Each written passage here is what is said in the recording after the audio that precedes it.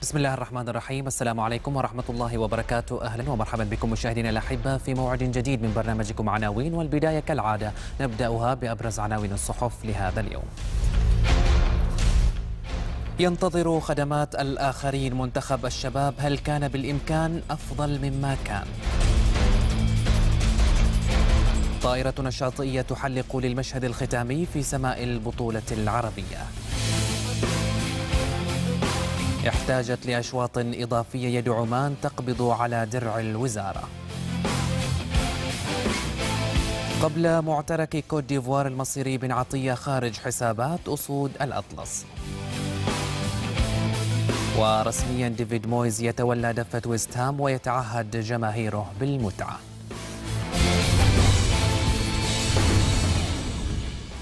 البداية بالصحف المحلية حيث أثمر التعاون بين الاتحاد الدولي لكرة القدم الفيفا والاتحاد العماني لكرة القدم في اختيار الأول للسلطنة لتكون مقرا للقاء القمة التنفيذية للاتحاد الدولي حيث ستقام اجتماعاتها في مسقط في يوم الرابع من فبراير 2018 بحضور رئيس الاتحاد الدولي جاني إنفانتينو وذلك بحسب صحيفة عمان التي خرجت بعنوان السلطنة تستضيف اجتماعات تنفيذي الفي تنفيذ الفيفا في فبراير المقبل. وانطلقت فكرة هذه القمة من رؤية رئيس الاتحاد الدولي لكرة القدم جياني إنفانتينو التي تحمل شعار إعادة كرة القدم إلى الاتحاد الدولي وإعادة الاتحاد الدولي للكرة من جديد وذلك لتعزيز العلاقة بين الاتحاد الدولي وأعضائه ولتوفير برنامج ديمقراطي لتبادل الخبرات والمعلومات للوصول لنتائج تساعد على اتخاذ مختلف القرارات في مجلس ومؤتمر الاتحاد الدولي لكرة القدم.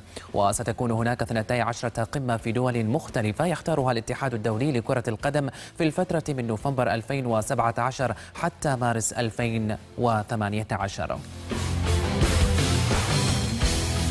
على الرغم من اكتساحه للنبال بخماسية في المباراة التي جرت قبل قليل دخل المنتخب الوطني للشباب في حسابات معقدة للصعود لنهائيات كأس آسيا للشباب تحت 19 سنة والتي ستقام بإندونيسيا 2018 بعد أن أنهى مبارياته في المجموعة الأولى. لتتعقد المهمة وبنسبة عالية نحن خارج النهائيات. صحفة كرة وبس حللت أداء الأحمر الشاب في عنوان قالت فيه خسارة أولى أو منتخب الشباب يضع نفسه في موقف صعبة. ترى الصحيفة أن الخسارة الأولى أمام المنتخب الإماراتي وبخماسية كان الأثر الكبير في جعل منتخبنا ينتظر نتائج الآخرين إضافة إلى التفريط بنقاط الفوز على البحرين والاكتفاء بالتعادل الذي جاء في الوقت بدل الضائع. ونبقى مع منتخب الشباب فالجهاز الفني بقيادة المدرب الوطني رشيد جابر وقع على ما يبدو هو الآخر في حيرة بعد أن ظهر المنتخب بالصورة التي شاهدناها عليها لتخرج صحيفة عمان بعنوان رشيد غير سعيد ولا يعرف ماذا يقول. وقال رشيد جابر في تصريحات لموقع الاتحاد الآسيوي عقب مباراة البحرين لا أعرف ماذا أقول. كان يفترض أن نفوز في المباراة بسهولة فيما سنحت لهم فرصتين أو ثلاثة في الشوط الثاني وفي الدقيقة الخامسة. من الوقت بدل الضائع منحناهم فرصة سهلة للتسجيل نتيجة قلة التركيز والانضباط وأنا غير سعيد بنتيجة المباراة.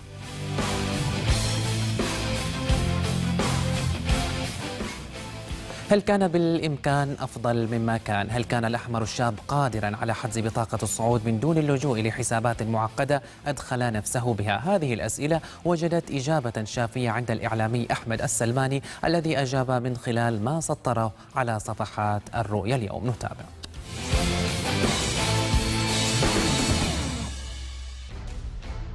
بغض النظر عن الحسابات وتأهل منتخب الشباب من عدمه فلا بد من الوقوف على مسيرة المنتخب. ومنذ انطلاقة تجمعه ومشوار إعداده الطويل والاستثنائي والذي تخللته 12 مباراة ودية لم تتح لأي من منتخباتنا في السنوات الأخيرة. وبالتالي فمسؤولية لجنة المنتخبات كبيرة في دراسة الحالة السيئة التي ظهر عليها المنتخب الشاب والذي يعول عليه كثيرا في أن يرفض المنتخب الأول بالمواهب التي تأسست بشكل علمي ووفق خطة طويلة الأمد بدأها الاتحاد السابق وواصل عليها الاتحاد الحالي دون أن يتدخل أو يغير أي من الأجهزة الفنية لمنتخبات الناشئين والشباب والأولمبي أملا في أن تتوفر لها الفرصة الكافية لصناعة منتخب أول يعيد للكرة موقعها بين كبار آسيا. عوامل فنية وسقطات إدارية ساهمت في هذا الظهور الباهت لمنتخب الأمل. فكان واضحا تماما أن مدرب المنتخب رشيد جابر قد أساء فهم الصلاحيات المطلقة التي منحت له في التصرف المطلق بالنسبة للأسماء التي أزاحها وعددها 15 لاعبا رغم أنه استلم منتخبا جاهزا وتلك التي أضافها وبعضها عليها علامات استفهام كبيرة. تاريخ المدرب يشفع له ولكن فيما يبدو فإنه قد وضح تماما عدم قدرته على التعامل مع الظروف التي أحاطت بالمنتخب قبل وأثناء المباريات والتحولات التي تصاحبها فضلا عن اعتماده على أسلوب لاعب واحد وعدم وجود الحلول في وسط المنتخب والتهيئة للمهاجمين الذين كانوا أسوأ خطوط المنتخب على الإطلاق بافتقادهم للحساسية التهديفية والتمركز السليم وفتح اللعب وسعيهم للتخلص من الكرة كيفما اتفق. برعونة كبيرة. وبالتالي فمن المستغرب أن لا نمتلك المهاجم الصريح والقناص رغم أننا ومنذ مواسم عدة لدينا دور للفئات السنية كلها كما غاب أيضا التوظيف السليم للاعبين وأن له ذلك وإمكانيات اللاعبين لا تؤهلهم لفهم نظريات المدرب. ولا نعلم أين مساعد المدرب من المعادلة الفنية للمنتخب كما وأن الأخطاء القاتلة لحارس المرمى والذي كان أحد الأرقام الموجبة إبان وجوده ضمن تشكيلة منتخب منتخب الناشئين تضع أكثر من علامة استفهام أمام القدرات والمؤهلات الفنية لمدرب حراس المرمى. الاتحاد الآسيوي ساهم فيما نحن عليه من مستوى باهت حيث ظهرت جليا الإمكانيات المتواضعة لقرغيزستان في استضافتها لمنافسات المجموعة من حيث رداءة أرضية الملعب ومشاكل الإنارة. والمستغرب ألا يتأكد اتحاد الكرة من هكذا إشكاليات والموافقة على اللعب في هكذا ظروف. وبالتالي بات من الضرورة بمكان التأكد من جاهزية كل المرافق قبل وصول بعثة المنتخب لإعطاء الجهاز الفني صورة عامة للوضع وتسجيل موقف لدى الاتحاد الآسيوي تجعله يعيد حسابات الاستضافة. وبالرغم أن باقي المنتخبات عانت من نفس المشكلة إلا أن التعامل الجاد من قبل الأشقاء بالمنتخب الإماراتي مثلا مع الظروف المحيطة بمباريات المجموعة ووجود فريق إعلامي متكامل مع المنتخب تضعنا في خانة أننا لا نملك مقومات الحضور بين كبار القارة الآسيوية. وسواء تأهلنا أم لا فمن الضرورة بمكان تقصي حقائق هذا الظهور الباهت للأحمر الشاب.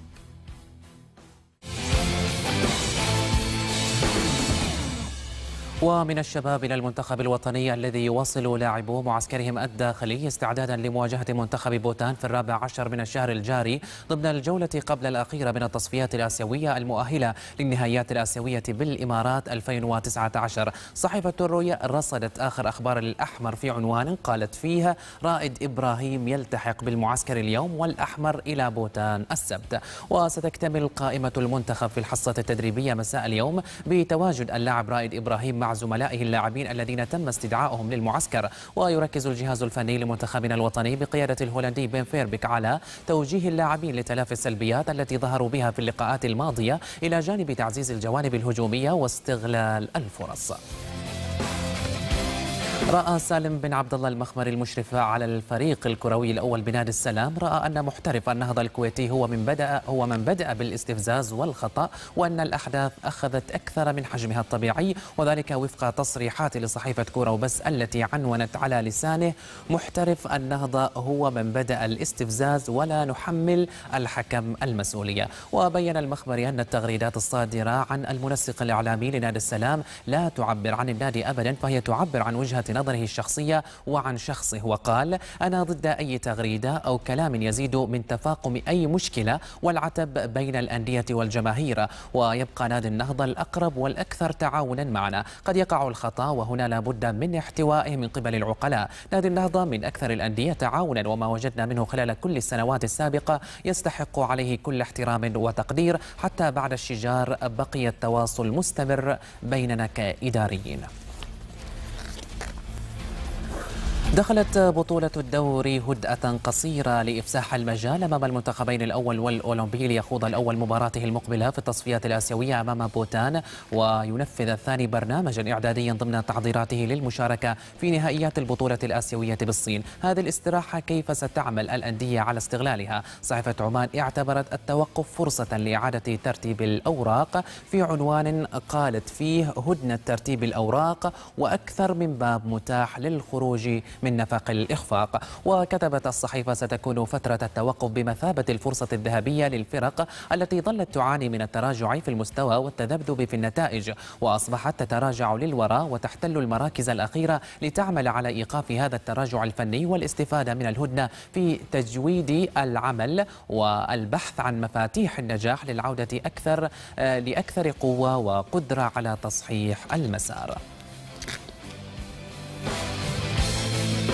دورنا ومقصلة المدربين وتصريحاتهم الدبلوماسية والانفعالية كانت محط رصد الإعلامي مع النداف فقد تناول تلك التصريحات في عموده المنشور اليوم على صفحات كورة وبس نتابعها من خلال القراءة في هذا التقرير.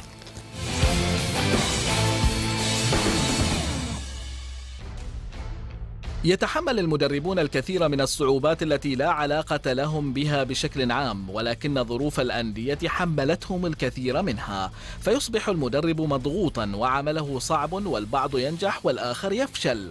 وهكذا في ظل غياب دور فعال وكبير لإدارة الأندية ذات الإمكانيات المحدودة. في الفترة الأخيرة ازدادت تصريحات المدربين الذين يبررون خسارة فرقهم بالقول أنهم راضون عن أداء الفريق رغم الخسارة أو أن فريقهم لعب وفعل كل شيء ومن ثم خسر وهو راض عما قدمه. أو يخرج مدرب ويعلن تحمله المسؤولية لخسارة الفريق مشيدا بما قدمه أو أن يعيد الخسارة إلى أعذار تعاني منها كل الفرق دون استثناء. والكثير منهم يعلن أن فريقه يضم لاعبين صغار ولا يملكون الخبرة اللازمة وأن عمله هو بناء فريق للمستقبل. وهذه رواية تتكرر كل موسم. وهنا بيت القصيد بما تم ذكره. كيف لمدرب أن يكون راضيا عن أداء فريقه وهو يخسر ويبتعد عن المراكز المتقدمة إن لم يفقد أمل المنافسة أو إن أصبح وضعه خطيرا؟ وإلى متى سيبقى معجبا بأداء فريقه ولاعبيه وخسارتهم؟ وهل الدوري ساحة لتقديم الأداء الجيد دون النظر للنتائج؟ وهل يمنح الأداء الجيد الفريق الألقاب والبطولات؟ هذه التصريحات لا تصب لا في خانة المدرب ولا الفريق. وإن كان بعض المدربين يملك الجرأة ويعلن أن فريقه لا يستحق الفوز بناء على ما قدمه وأن يلعب للفوز دون الأخذ بعين الاعتبار جمالية الأداء وأن يعقبوا بالقول أن الفوز مع الأداء الجيد يكون أفضل وهؤلاء هم واقعيون ويتعاملون مع كرة القدم بمنطقها. وبالتأكيد هم من طينة المدربين الناجحين وإن كانت ظروف عملهم صعبة للغاية ومع ذلك يبدعون.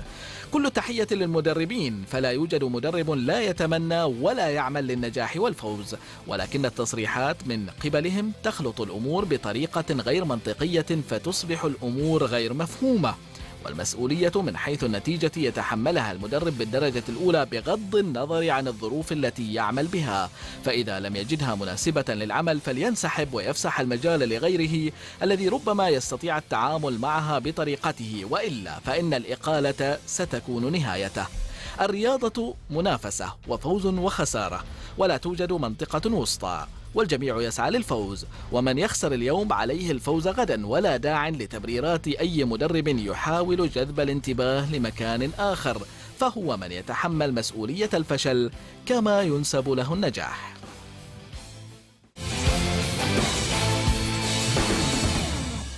في الكرة الشاطئية خطف منتخبنا الوطني لكرة الطائرة بطاقتي التأهل إلى المربع الذهبي من البطولة العربية لكرة الطائرة الشاطئية التي تستضيفها العاصمة مسقط. صحيفة عمان تابعت هذه البطولة ونتائج الأمس فعنونت قائلة منتخبنا الوطني الألف يواجه لبنان ومنتخبنا باء يلاقي قطر ألف في المربع الذهبي. ويخوض منتخبنا الوطني غدا الخميس منافسات المربع الذهبي ومن ثم نهائي المسابقة الذي سيقام في نفس اليوم لفئتي الرجال والنساء حيث سيلعب منتخب ألف مع المنتخب اللبناني فيما يلعب منتخب باء مع المنتخب القطري ألف. والفائزان سيتأهلان إلى المباراة النهائية من البطولة.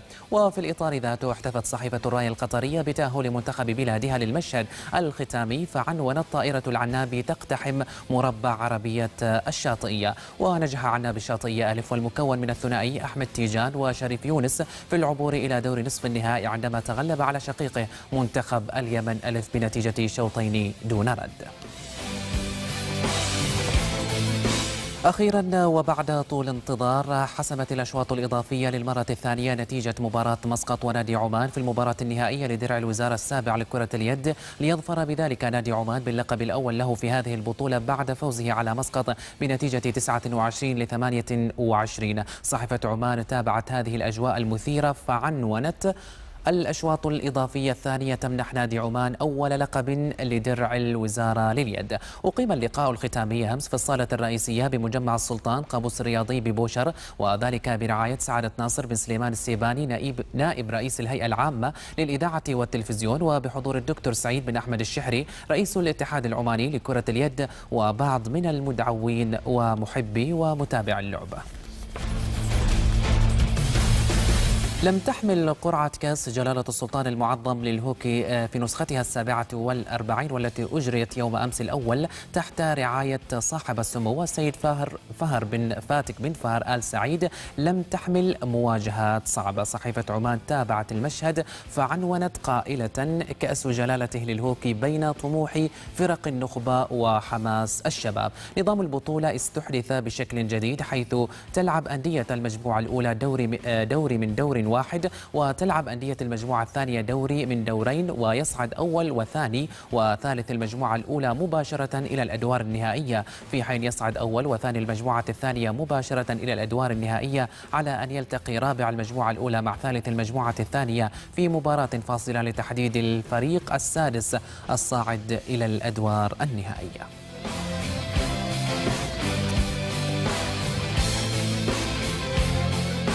ختام جولتنا في الصحف المحلية. بعد فاصل قصير لنا جولة في الصحافة العربية. كونوا بالقرب.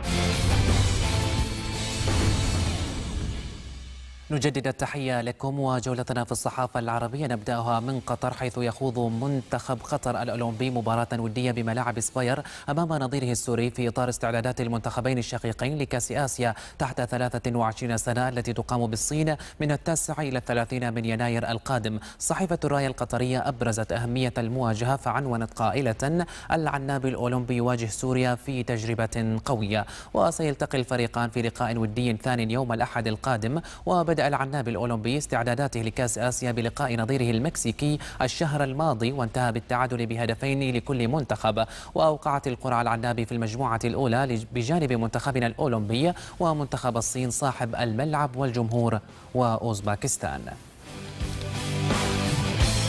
يرى الإعلامي جاسم أشكناني أن لا فرصة أمام الأزرق الكويتي من أجل رفع الإيقاف عن كرته إلا, إلا أن يتخذ الشيخ طلال الفهد قرارا تاريخيا في تقديم استقالته من رئاسة الاتحاد على غرار ما فعله المصري جمال علام. وناشد أشكناني الفهد من خلال مقاله المنشور على صفحات القبس أن يتقدم باستقالته لرفع الحظر. نتابع.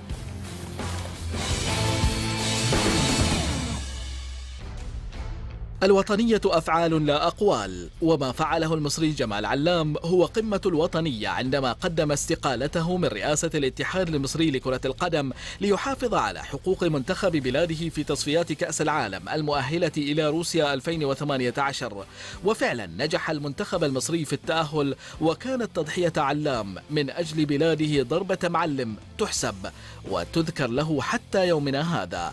فلم يتعنت أو يتباهى أو يستغل منصبه للتمسك بكرسيه على حساب بلده. وسبق ذلك أيضا تنازل مشابه للاتحاد العماني لكرة القدم برئاسة السيد خالد بن حمد البوسعيدي عندما قام برفقة زملائه في مجلس إدارة الاتحاد العماني بإصدار بيان الاستقالة من مناصبهم بعد أن تم حل المجلس بحكم المحكمة الإدارية في السابع والعشرين من أغسطس 2012 يا إخوان ليزرع الشيخ طلال الفهد أعاده الله إلى وطنه وأرضه وأهله سالما معافى ليزرع جميلا حتى لو كان في غير موضعه فلا يضيع جميل أينما زرع. من أجل الوطن ورياضي البلد والكويت الغالية تكرم ألف عين ومليون منصب وكرسي ليختصر الشيخ طلال الطريق علينا ويقص الحق من نفسه ويقدم استقالته للفيفا المنظمة التي تعترف به وتتواصل معه وتؤكد شرعيته. أما من يظهر ليقول أنه إذا استقال فسيسجن فنحن نضمن عدم تطبيق ذلك عليه. فقد سبق له ومجموعته مخالفة بعض القوانين الكويتية الرياضية ولم يسجن خاصة في انتخابات اتحاده يوم الخامس عشر من نوفمبر 2009 ليزج أندية تم حلها حكوميا في انتخابات غير شرعية طار بها إلى محكمة كاس. وجاء وتسلم اتحاد الكرة بناء على حكم خارجي يوم الثاني والعشرين من مايو 2010 ولم يلتفت لأي تسلسل قانوني وإجراءات تراتبية ودخل الإعدالية والهيئة العامة للرياضة لجأت إلى المخفر. ما صار شيء؟ وليل يوم الجمعة الثامن عشر من يونيو 2010 ليلة السبت عندما عاد المغفور له الدكتور محمد العفاسي وزير الشؤون الاجتماعية من جنيف قال ما يلي سيتم إخلاء مبنى اتحاد كرة القدم لتسليمه إلى الهيئة العامة للشباب والرياضة وسيصدر قرارا بذلك وهي أولى خطوات تطبيق القوانين المحلية. كلام المرحوم الوزير الأسبق كان قويا ونافذا طمأن الشارع الرياضي خاصة أن الراحل كان رجل قانون. ولكن كل ما حدث سلاسل كبلت أبواب الاتحاد إضافة إلى شوية اسمنت ورمل وحصم. بحجة تصليحات ضرورية. ولكن الاتحاد غير الشرعي آنذاك لم يلتفت وأخضع الكل لسياسة الأمر الواقع. لم يسائل أحدا قانونيا ولم يزج أحدا في النظارة وليس السجن. الاتحاد المنحل تحول إلى النيابة وقد حصن هذا القرار إداريا حسب معلوماتنا المتواضعة بعد ستين يوما ولا يحق للدولة القفز فوقه وعلينا أن لا ننسى أن أحد أعضاء مجلس الأمة وهو النائب الفاضل رياض العدساني الذي هدد باستجواب رئيس مجلس الوزراء لو أعيد هذا الاتحاد وتم القفز فوق القوانين الإدارية المحصنة للبلد إذا ما العمل؟ نعايش الوضع بالتمنيات وننتظر الأقدار ونكتفي بالدعوات لينزل الشيخ طلال عن كرسيه.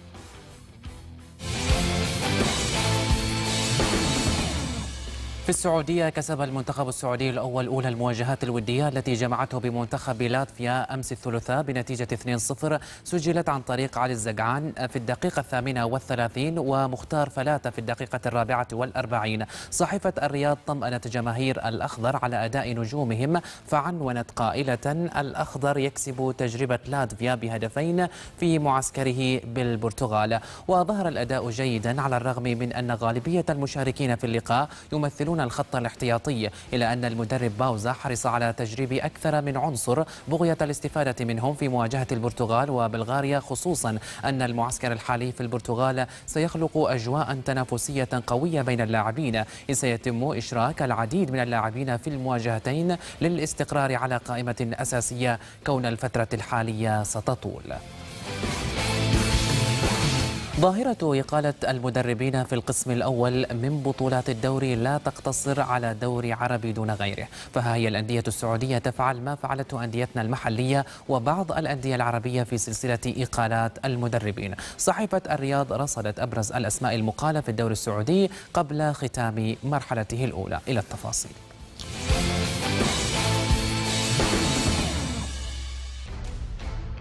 اعتاد الجمهور الرياضي على استقبال قرارات إقالة المدربين في الدور السعودي كل موسم تارة بعد مباراتين أو ثلاث وربما يقفز الرقم للأعلى قليلا وتارة في الدور الثاني أو نهاية الدوري أو الموسم الرياضي كاملا.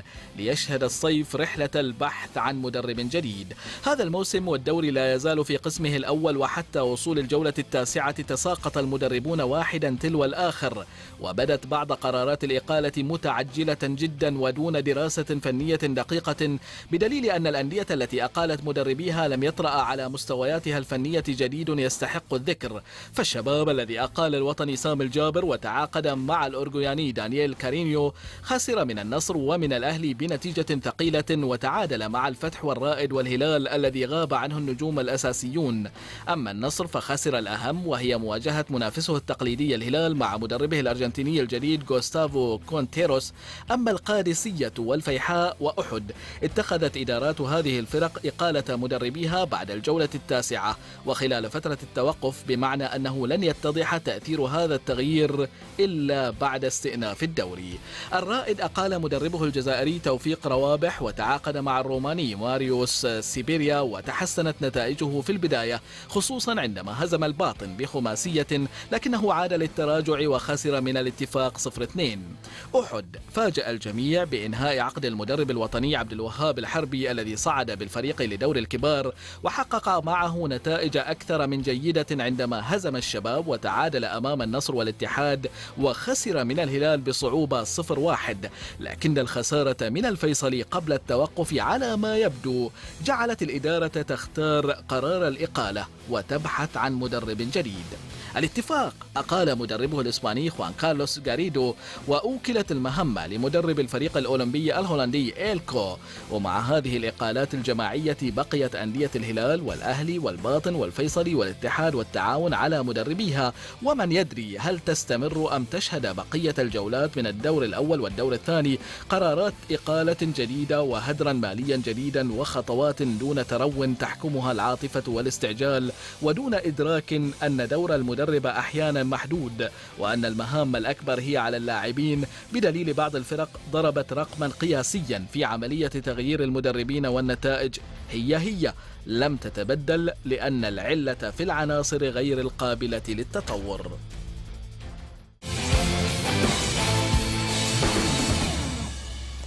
يواجه المنتخب الأردني للشباب لكرة القدم نظيره السوري في الجولة الختامية لمنافسات المجموعة الخامسة ضمن التصفية الآسيوية المؤهلة إلى كأس آسيا. صحيفة الرأي الأردنية أشارت إلى حظوظ الفريقين في التأهل فعنونت قائلة منتخب الشباب يلاقي نظيره السوري بهدف الترشح. ويجمع كلا المنتخبين في رصيدهما أربع نقاط في حين يحتل المنتخب الإيراني المركز الثالث برصيد نقطتين. ويقبع المنتخب الفلسطيني في آخر المجموعة دون رصيد. وهذا ما يجعل حسابات هذه المجموعة معقدة. وعلى ما يبدو أن أفضل ثاني سيكون من بين تلك المنتخبات نظرا لتقارب النقاط.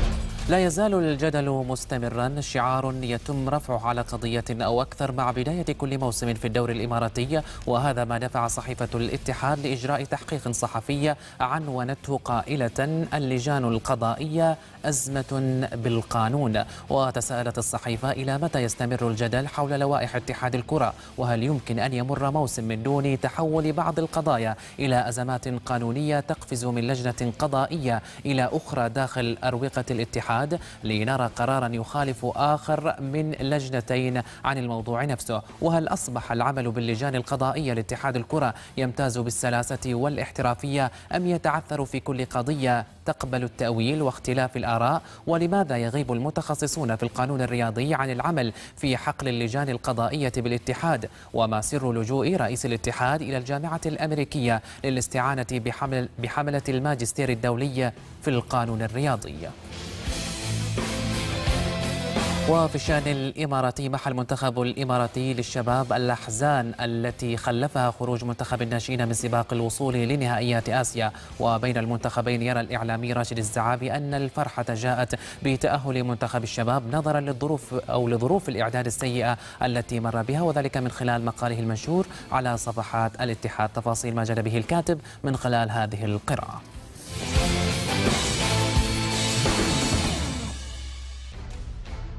رسم الأبيض الشاب ابتسامة جميلة على محيا الكرة الإماراتية. وفي قرغيزستان نجح في حجز بطاقة التأهل إلى كأس آسيا للشباب. وبعد أجواء كئيبة للغاية عاشتها كرتنا والجماهير خلال الفترة الماضية كنا بحاجة إلى ما يعيد إلينا شيئا من الأمل حتى لو كان بصيصا. لذا لن نستكثر على أنفسنا أن نبدي فرحتنا حتى لو كانت هذه الفرحة لتأهل منتخبنا ضمن أفضل 16 منتخبا شابا في آسيا. قد يبدو الأمر غريبا أن نفرح لتأهلنا إلى النهائيات وهو شيء ليس بالجديد ولكن قد يكون هذا الفرح مبررا عطفا على كل العوامل السلبية التي جعلتنا نفقد ثقتنا في أبسط الأشياء إضافة إلى العديد من العوامل الأخرى. وليس ما حدث لمنتخبنا الأول في تصفيات كأس العالم 2018 عنا ببعيد والصدمة التي كانت كبيرة للغاية بحجم عشر سنوات قضيناها نحلم ونعمل. وفي ساعة الحقيقة تبخر الحلم وضاع الأمل. ولا ننسى خيبتنا لفقدان منتخب الناشئين فرصة المشاركة في تصفيات آسيا وسلبية اتحاد الكرة وعدم قدرته على إدارة الملف بطريقة سليمة وهو ما أضاع علينا مجهود سنوات في إعداد هذا المنتخب. والغريب أن يظهر رئيس الاتحاد لينفي ما كتب وقيل عن نية اتحاد الكرة للذهاب إلى محكمة كاس للتظلم وأن الشكوى لم تكن للدفاع عن حقوق هذا المنتخب ولكن لتصحيح إجراء خاطئ ارتكبه الاتحاد الآسيوي حتى لا تتضرر منه منتخبات آسيوية أخرى في المستقبل. لا تعليق. ولا ننسى أن هذا المنتخب تعرض للعديد من العثرات طوال فترة إعداده حيث لم يتم تطبيق البرنامج المعلن عنه بالطريقة المثلى وخاض مباريات ودية مع فرق الرديف في بعض أنديتنا كما لعب مع منتخبات أفريقية أقل منه بالفئة العمرية وخسر في كل المباريات التي خاضها قبل التصفيات. ولكن جاءت المفاجأة السعيدة من قرغيزستان بظهور مميز للفريق ومحصلة متكاملة مستوى ونتائج وتأهلا. التأهل إلى كأس آسيا للشباب ليس إنجازا فهو يحدث للمرة الرابعة عشرة كما أنها المرة السابعة على التوالي ولكنها خطوة مهمة في مشوار طويل والمطلوب الآن تسخير كل الإمكانيات لهذا الفريق وإعطائه حقه من الاهتمام وتوفير معسكرات إعدادية مثالية من أجل هدف أسمى وهو ليس الفوز بالبطولة أو التأهل إلى النهائيات بقدر ما هو الحفاظ على هذا الفريق كنسيج متجانس ومشروع جديد لفريق قوي يكون نواة المنتخب الأول في المستقبل.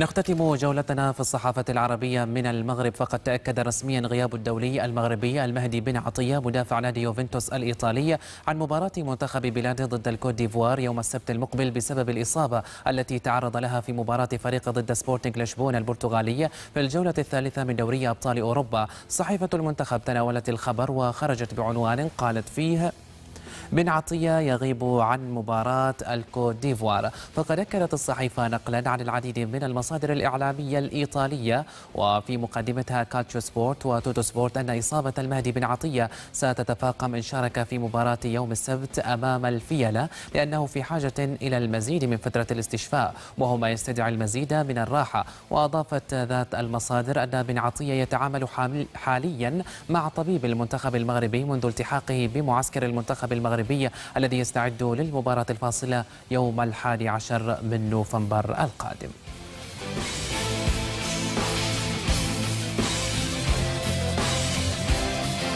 ومن جولتنا في الصحافة العربية مشاهدينا الأحبة ننتقل بكم إلى جولتنا في الصحافة العالمية نبدأها من عالم البريمير ليج فقد أعلن نادي وستهام لكرة القدم أمس الثلاثاء تعيين ديفيد مويز في منصب المدير الفني للفريق المتعثر في الدوري الممتاز. ليحل مكان الكرواتي سلافين بيليتش الذي أقيل الاثنين. صحيفة ستار سبورت أبرزت تقديم مويز لتخرج بعنوان على لسانه يقول دعوني أمتعكم حيث تعهد المدرب السابق لكل من مانشستر يونايتد وإيفرتون بتقديم كرة قدم جذابة وإنقاذ الفريق من دوامة التراجع لمراكز الهبوط بجدول الدوري. وقال موز في تصريحات لموقع نادي وستهام أعتقد أن لدينا فريق جيد. في الوقت الحالي كان من المفترض أن يحتل الفريق مركزا أفضل. وأعتقد أن هذا سيتحقق مع نهاية الموسم. ليس لدي شك في ذلك. ولكن علينا إثبات قدراتنا على الملعب.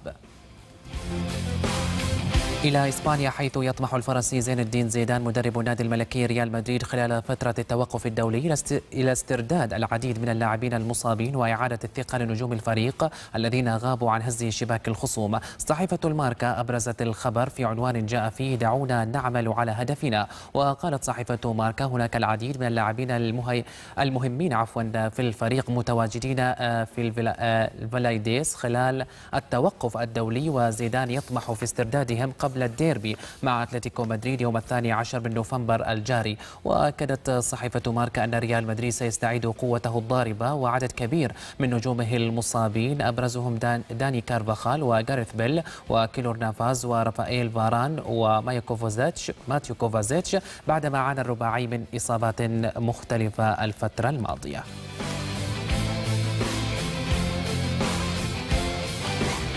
ننتقل بكم الآن إلى فقرة الكاريكاتير. نترككم مع أبرز الرسومات التي نشرتها صحف الأيام البحرينية والجزيرة السعودية وكورة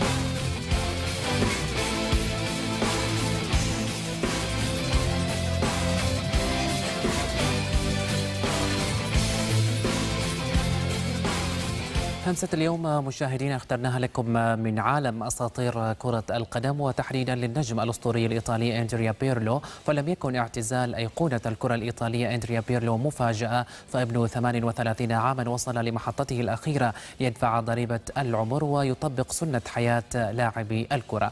بيرلو أمتع الصغير قبل الكبير وأيضا المنافس قبل الزميل. أندريا لديه عقل كروي يوازي أجهزة الحاسوب فهو الأسرع في التفكير واتخاذ قرار التمرير أو التسديد. ملاعب الكرة تنجب كل يوم مئات من اللاعبين لكنها في النهاية تفرز قلة من الموهوبين الحقيقيين. العالم تهافت على إرسال بعض الكلمات لبيرلو فور سماعهم. قرار اعتزاله واخترنا لكم من بينها بيرلو يستحق حفل اعتزال مع منتخب إيطاليا يليق بأسطوريته ومكانته عند الجميع. يجب أن يبكيك الشعب كما تستحق وإذا كان لإيطاليا ملك فبيرلو أميرها وداعا بيرلو.